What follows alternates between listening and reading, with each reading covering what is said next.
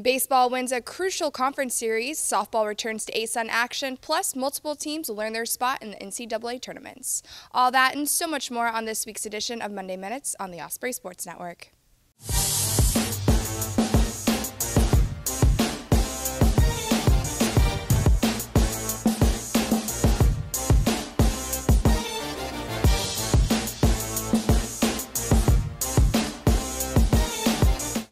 Hey Ospreys, I'm Elizabeth Norton. We start off the show with a quick recap of baseball in Fort Myers this past week.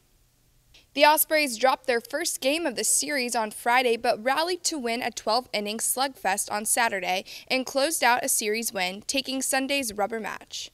They move into a tie for third place in the ASUN standings. They'll return home this weekend for a three game ASUN series against Lipscomb. Next up is softball, who had the past week off. They're in Fort Myers today and tomorrow for a conference series with today's doubleheader starting at 4 and tomorrow's single game starting at 1. They come back home this weekend for their final three games of the season against USC Upstate. Women's golf found out their spot in their first ever NCAA regional last week.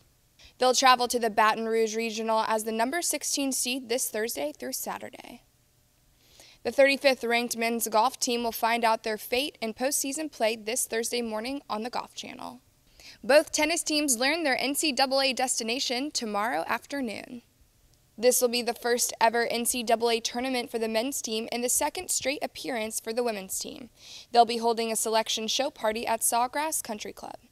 We close our show with track and field, who will be returning to Hodges Stadium this week. They'll host the UNF Twilight starting Wednesday at 3, their final meet before hosting the ASUN Championships next weekend. Well, that's all we have for you on this week's edition of Monday Minutes. From all of us here at Osprey Sports Network, I'm Elizabeth Norton.